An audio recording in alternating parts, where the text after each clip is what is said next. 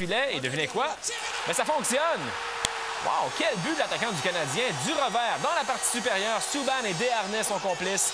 L'égalité est créée. Sauf que l'euphorie laisse rapidement place à de l'inquiétude au Centre Bell. Eric Greiba, il va d'une mise en échec violente à l'endroit de Heller. Le Danois s'effondre immédiatement au sol. Ensanglanté, Greiba reçoit une pénalité majeure et une inconduite de partie. Son match est terminé. Heller, lui, doit quitter sur une civière. Après cette mise en échec, la rivalité est bel et bien installée. Oh.